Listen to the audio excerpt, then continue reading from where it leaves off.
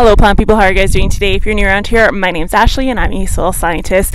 I am in the middle of the bald headed prairies here in Saskatchewan right now in my garden that is out at the farm and it is incredibly windy. So I'm hoping that the mic picks up the audio well and it's not just straight air noise. If it is, I will just do a voiceover for this.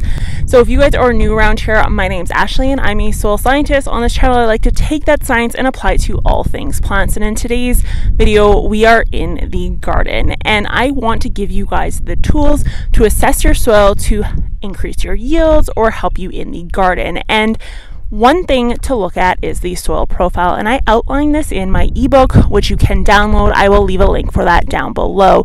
Essentially, what I do is I go through step by step, helping you identify what kind of soil you're dealing with and the parent material for the soil you're dealing with, which is very important when it comes to understanding how to reclaim or remediate your soil according to what you're trying to grow or what the ultimate goal is. So, in this video, we are going to be specifically digging a hole to look at the soil profile and try to characterize this soil. Now, as you can see, the patch of soil that I'm currently standing in is tilled soil. And that is because this is untouched land. Before it was simply a pasture, and there's no such thing as growing a high yielding crop in grass. So we had to get rid of the weeds, and this is the process that we went with to get rid of those. Now, behind me is untouched prairie land. Actually, it's an old pasture. So, what I'll be doing is I will not be digging the soil profile in the rot rototilled area, I'll actually be digging the soil profile further back in the pasture section. And the reason for this is because after we rototilled the soil, it's really difficult to see, see the soil profiles, um, especially the different horizons. It's nearly it's impossible. So we have to go back to the native land just to check out what's over there. So I will be backing up just a little bit to give you guys a better look. I'll let you watch me dig this hole and then I will explain it a little bit closer up after. Okay, so here is our official soil profile and what it looks like. Now I'm going to try to not stand in the sun as much as possible to show you what's going on here. But one thing that you will want to do before you actually assess the soil profile is you're going to want to clear the face of this soil off. And something that a soil scientist use typically is something called a hori hori knife. And I don't have one right now, mostly because this is spur of the moment, but I do have the serrated edge of this shovel. And now while I'm not talented enough to both film and show you how to use this, all you're going to do is just cut the surface of the soil so you can see how flat this is. And the purpose of that is to clear off any soil that may have ran down the slope, which ultimately will disguise layers if there are layers there.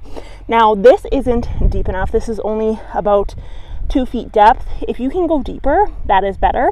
But what I'm hitting down here is a ton of rock, and that is because we are on glacial till. And this is very famous across the Great Plains. It is a type of soil where the glaciers left deposits of sometimes rock, sand, calcareous materials, all different sorts of things. So that is what is happening here that is solid rock down there and I can actually, well I can show you a rock I skimmed while I was digging, but down here, I don't know if you can hear that on the camera, but that is solid rock.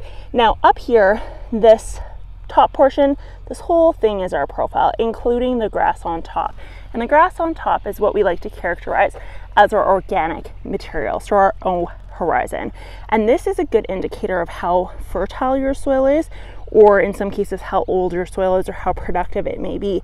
And you can generally lift your O horizon up and over, and it will be very, very um, loose and it will not actually be part of this soil structure that you see here. So, the depth of this is going to determine how fertile your land is. The deeper this O horizon is, the better. And this is just this real light, fluffy stuff. Now, if you have enough of this and you don't have a huge patch of grass, you could plant directly in this without tilling.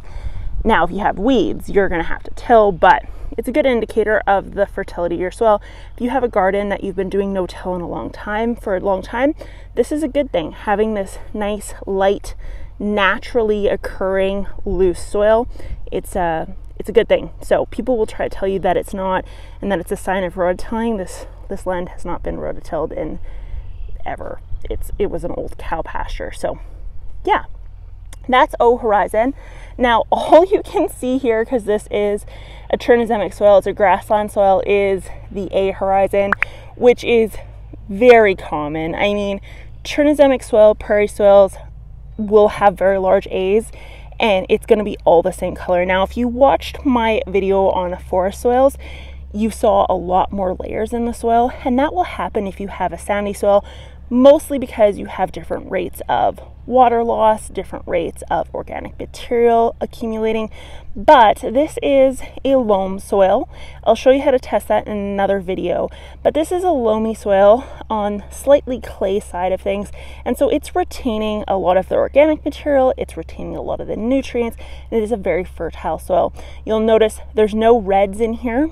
There's no grays in here, and that's a good sign. So that's showing us that the water is moving through the soil profile properly and healthy in a healthy manner, and therefore this is a good soil, and this is what we want to see. Something of this color is a good indication of a healthy soil. We don't see any blotching, we don't see any streaking. The only streaking we do see is from my shovel strikes um, and that's actually just a moisture color. So if you drag your finger across, you'll see that it's just moisture. Now, you will also see things like uh, root holes or bug holes. So these are all decayed roots that have come and gone, and this is a sign of soil that has not been tilled because you obviously have that structure. You can see it's nice and firm. It's not caving in on itself, which is a good sign of soil structure as well. So this is just a classic grassland soil.